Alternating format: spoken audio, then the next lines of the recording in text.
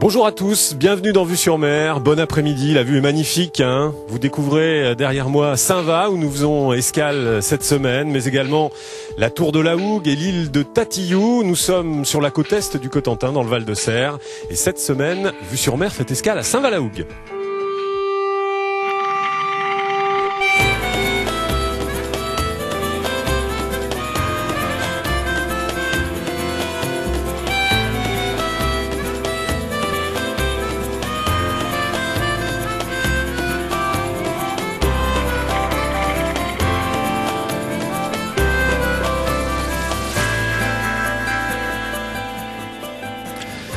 Cette semaine, Vue sur Mer vous propose d'abord d'embarquer pour l'île de Tatillou, située en face de Saint-Val-la-Hougue. Drôle d'île, d'abord elle est accessible à pied à marée basse, et c'est depuis quelques années une sorte de musée vivant consacré au monde maritime, et le gardien de nuit de l'île de Tatillou a une vraie tradition familiale sur cet endroit.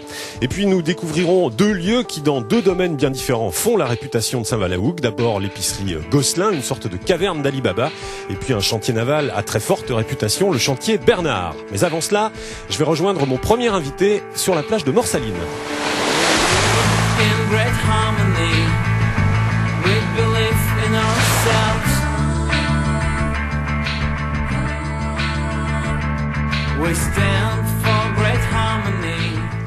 Bonjour Philippe.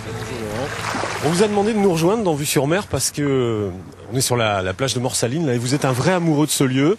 Euh, vous avez même euh, créé un site internet d'ailleurs entièrement dédié à, à Morsaline. Euh, vous avez en fait plein de souvenirs d'enfance ici. Oui, j'ai vécu mes premières années de vacances ici et j'ai arpenté, je dirais, toutes les rues et toutes les plages de Morsaline. Et puis au fil des années, bah, la nostalgie aidant, euh, j'ai un besoin de, de revenir euh, tout le temps. Alors c'est vrai qu'on a un paysage magnifique. hein. Il y a en plus le, le- une lumière, euh, une lumière pas possible sur le, le- le- la tour de la Hougue, la tour Vauban là-bas. On découvre Saint-Va de- derrière nous. Et puis il y a, il y a des lieux qui ne changent pas, comme, comme ce, ce que vous appelez le chalet vert, hein, Tout qui, est- à qui est fait. derrière nous là-bas. Le, le chalet vert, qui est cette maison qui est à l'angle de la rue de Quétou. Et d'ailleurs, quand on prend des, des cartes postales du début du XXe siècle et qu'on prend des photos actuelles, on voit que bah, la peinture a changé, mais le reste est Ouais, ouais, le resté bâtiment tout à fait même. cohérent. Euh, et vous avez ça dans, dans votre petit, euh, J'ai votre petit ça lecteur de. Vous nous montrez ça? Vous nous montrez Tout ça à fait.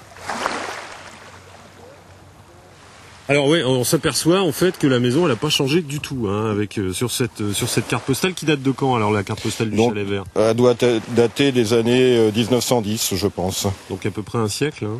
Qu'est-ce qu'on fait alors quand on est ici, qu'on est gosse Bah, beaucoup de choses. euh, les coques qui sont réputées, les, les couteaux que l'on trouvait près des, des parcs à 8 et des bouchots euh, qui, qui sont à environ 2 km Ouais, d'ici. la, la- la pêche à pied. Alors faut se souvenir que Saint-Va c'est le berceau de l'huître de Normandie et qu'on trouve aussi des huîtres sauvages là-bas de l'autre côté en fait. fait de, de la tour de la Hougue. hein. On peut trouver beaucoup d'huîtres sauvages à la pointe de la Hougue sur les rochers là qu'on peut apercevoir euh, en face.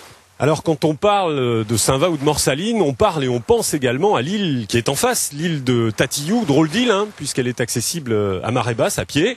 Et elle a eu une étrange destinée cette île, mais surtout, elle est gardée la nuit par Stéphane Saillard, qui a une véritable tradition familiale sur cette île. Portrait attachant. Quand j'ai pris le poste de gardien, j'y croyais pas au départ. Je suis retrouvé à Tatillou avec cette vue, avec tout ça. Je dis c'est, pas possible, je suis en train de vivre un, rêve éveillé parce que j'ai toujours eu envie de faire ça. Et une fois là, j'y, croyais pas, donc il a fallu du temps avant de, de, croire que j'étais vraiment le, gardien de Tatillou. Quoi.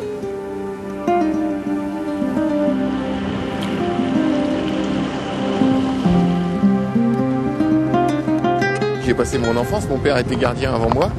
Et euh, mon père y a passé 13 ans, et moi j'ai passé toute mon adolescence sur l'île.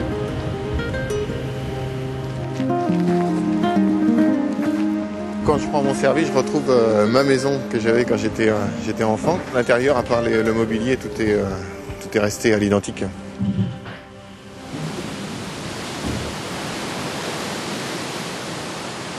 J'ai perdu mon papa en 2002. Donc le fait de, revenir sur l'île, bah, ça fait, euh, il revit pour moi. euh, J'ai tellement de souvenirs avec lui dans plein d'endroits que bah, il vit un petit peu avec moi encore sur Tatillou.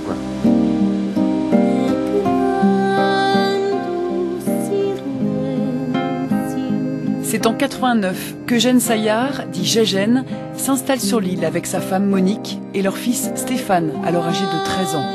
Tatillou est dévasté. Après la fermeture du centre de redressement, les pillards sont passés et la famille doit tout reconstruire. Bah, C'était vraiment le vandalisme complet. Il n'y avait plus de carreaux, euh, plus de tuyaux, tout, tout était arraché. Et malgré ça, ça, ça vous a pas inquiété, vous avez accepté le poste? J'acceptais le poste de mon cœur. Tout ça va nous a pris pour des fous. hein. Ah ouais. Tout ça va nous a pris pour des fous. Mais enfin bon, euh, on s'est mis du cœur à l'ouvrage et puis tout s'est acheminé petit à petit. euh, ça nous a plu tout de suite. hein. Liberté totale, euh, vivre sur une île déserte. Tout m'a séduit parce que à cet âge-là, moi, euh, je me voyais déjà vivre sur une île comme Robinson. Enfin, j'y- pensais déjà. J'ai toujours eu une vie en rapport avec la nature. euh, J'allais tout le temps à la pêche avec mon père. On allait à la campagne, on, faisait tout ça. Et puis le, fait de prendre le bateau pour aller à, l'école, enfin, c'est euh, c'est magique, quoi.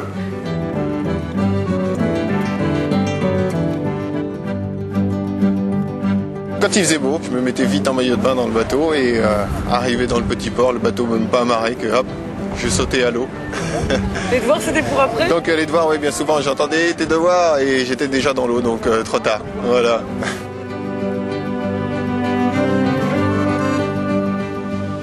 J'étais toujours en train de pêcher dans les cailloux, les petits crabes, euh, les petites crevettes. Les, euh, Donc j'étais un petit peu comme eux, quoi. Sauf qu'eux, ils vont les étudier. Et euh, moi, à l'époque, je les cuisais pour les manger, quoi.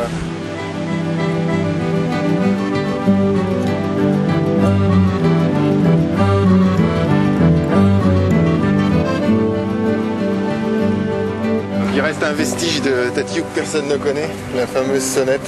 Beaucoup de gens euh, la prennent et se demandent euh, à quoi ça pouvait servir, allumer une lumière ou quoi. Et en fait, quand j'étais un gamin et que j'allais à l'école euh, à Saint-Va, lorsque je revenais tard euh, à marée basse, quand les marées étaient tard, mon père m'avait installé euh, cette fameuse sonnette afin qu'il puisse venir m'ouvrir le portail qu'il fermait tous les soirs à clé. Et euh, je rentrais par là, quoi, avec, euh, grâce à ça. Oui, oui, oui. Bah, on est assez fiers de ce qu'on a fait sur l'île, nous, quand on est arrivé déjà. hein. On a fait un petit noyau familial, euh, on a accueilli des gens qui passaient, euh, c'était, c'était assez convivial, c'était familial, c'était, on a eu des personnes qui se sont perdues avec les marées, on a eu des, On a eu- des naufrages, on a eu un peu toutes sortes de choses, quoi. Bah, pendant deux ans, ça a été euh, presque à nous, quoi. Et encore Mm. maintenant, je dis ma maison, euh, c'est pas la maison des veilleurs de nuit, c'est ma maison. Alors que ce sera jamais ma maison, malheureusement, mais. euh,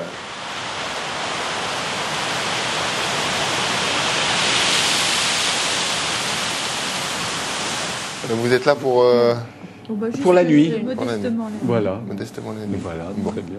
Bah, si vous avez un souci, hein, On n'hésite pas à vous réveiller.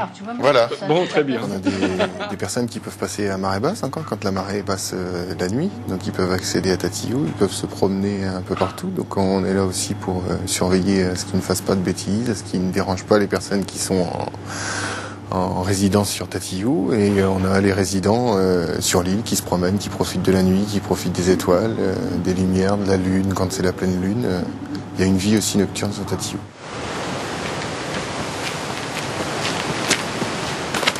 Donc je vérifie pour ce soir s'il n'y a rien de, spécial à faire, s'il n'y a pas des bâtiments à, fermer ou autre. En l'occurrence, ce soir, il n'y a pas de, a pas de classe sur l'île, il y a quatre touristes qui sont sur l'île. Donc j'ai vu avec eux tout à l'heure, ils n'ont plus besoin d'aller euh, à la tour.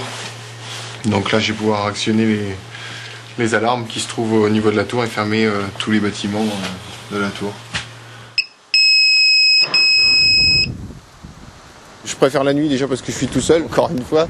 Mais voilà, l'ambiance est complètement différente que le jour. Le jour, il y a toujours quelqu'un sur l'île.